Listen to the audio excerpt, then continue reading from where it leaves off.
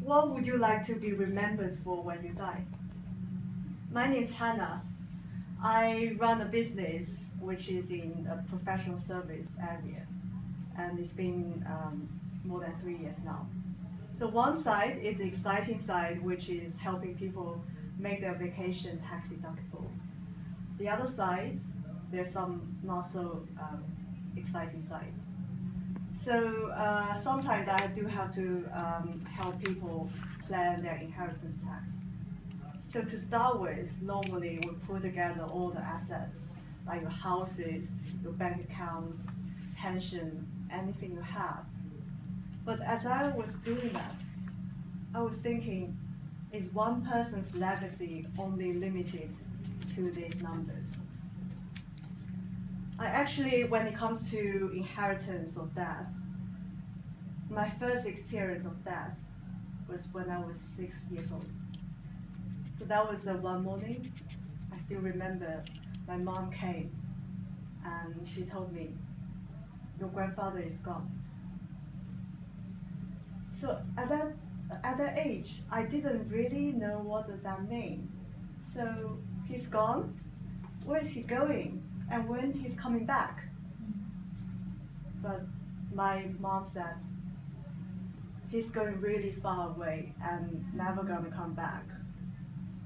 So a few days after, I was in his funeral. So I only know this person for six years in my life, but I felt after 20 years of his death, I kind of know this person more and more from how people talk about him and even wrote a book about him. I remember um, one chapter of the story that was about him um, in during the Chinese Cultural Revolution, because the Chinese government was uh, keen to destroy all the traditional culture. So because they think if China is gonna be the new country, new modern country, all this tradition, old tradition has to be ditched. So they are doing lots of uh, um, lots of movement about teaching all the traditional culture. But my grandfather, he was working very closely with the ethnic group in southwest China. And he felt Chinese traditional culture is actually so valuable and it's worth being protected.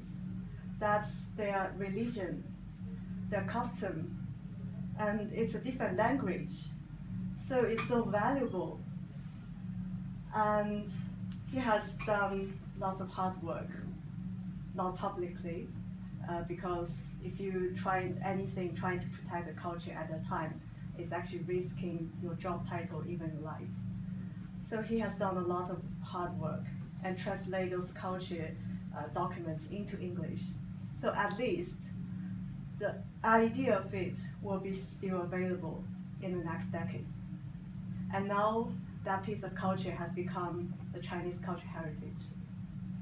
So as I was reading it, although I only know this person for this short period of time, but I kind of feel the legacy he has created was priceless. And he has been so, it's so much inspiring, inspired me so much. And he has been a role model for me. So if I take back to my business, sometimes being in professional service can be dry and boring.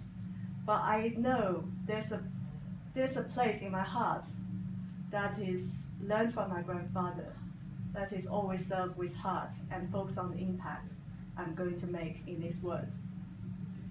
So um, at the moment, the idea of me running business has slightly changed because uh, now I know the high purpose of me helping my clients is giving them a better lifestyle.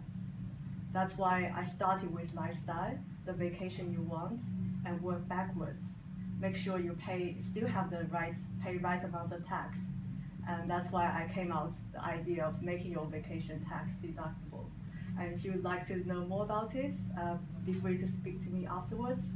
But finally, um, overall, one important lesson I've learned was if we only focus on what we do for living, we'll only make a living. But if we do focus on the bigger picture, something bigger than ourselves, and we'll make a fortune. Mm-hmm. Thank you.